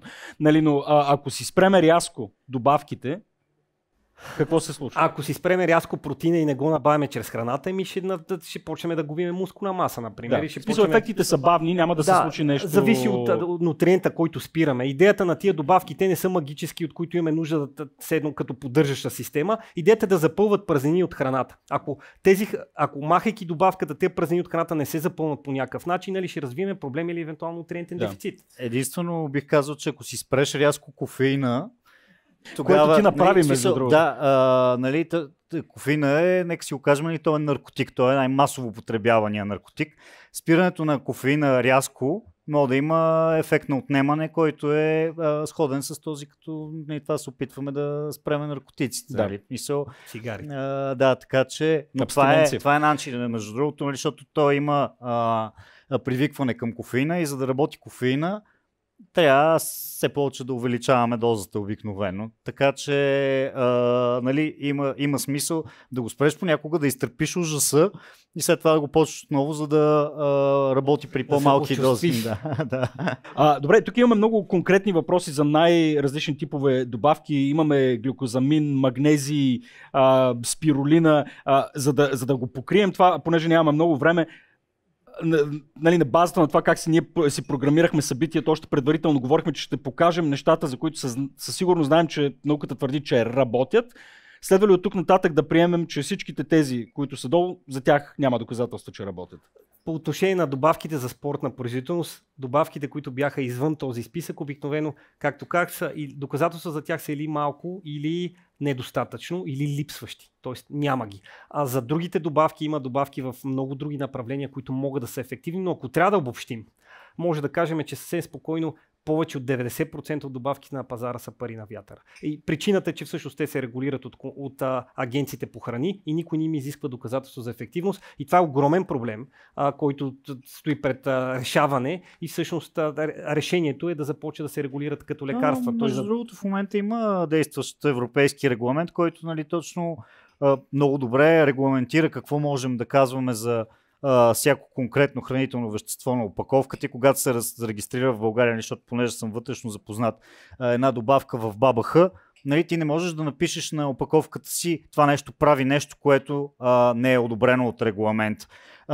Но много производители заобикалят регламента, като след това на сайтовете си правят едни много нали, такива пространни описания, пишат неща, за които нали, те не са одобрени претенции и така нататък. И така нататък. Просто в момента в България регулацията позволява все още да се, да се твърди, в, нали, особено в интернет, нали, не в телевизионни реклами, не на упаковките на продуктите, че тези продукти правят неща, които нали, науката не потвърждава, че, че правят. И за последно за изпроводяк момчета от технически екип, дали може да извикаме един последен слайд с а, въпросната приоритетна пирамида, която изключихме от презентацията, да. но тя де-факто ще синтезира а, това, което ние знаем за това как може би най-добре да приоритизираме различните ами, неща, да, защото тя да е живеем много оптимално. интуитивна и едва ли ще, ще изненада някого, но да, да, да понеже нали, особено спортуващи хора а, и особено хора, които нали, търсят краткия път към а, високите спортни постижения,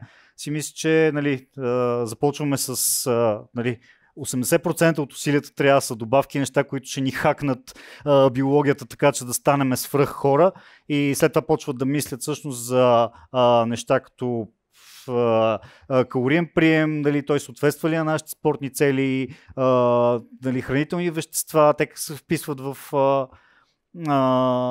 това, което преследваме, или се приключва с здравословното хранене, което е много тривиално и навсякъде можем да прочетем какво представлява, ли, нали, да се храним разнообразно, балансирано, така че да не пълнеем, да разнообразяваме всичките си хранителни източници, сезонно и така нататък и така нататък. Нали. Ние, всъщност тази пирамида трябва да обърната. Първо трябва да се погрижим върху това нали, да приемаме а, хранителните вещества, които ще ни направят здрави, ще ни позволят да а, живеем още дълго време, така че да мога да спортуваме.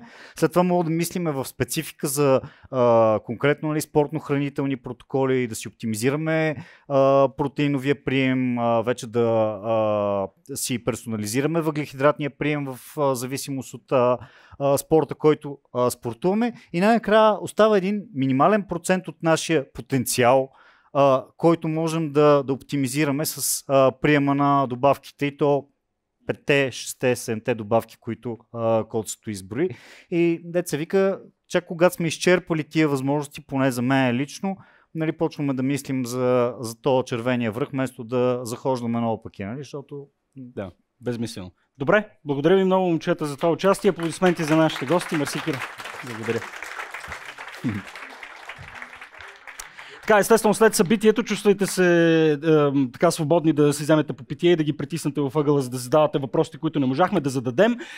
А, какво остана? Остана, разбира се, да благодарим а, първо на вас, че дойдохте, че си купихте билети и че подкрепяте това, което правим присъствайки. А, надявам се да говорите повече за нас, да слушате нашите подкасти, да следите това, което правим, пък ако решите да ни, а, така да ни подкрепяте по-активно, може да отидете на racio.bg, наклона на черта Support има серия различни начини по които да го направите.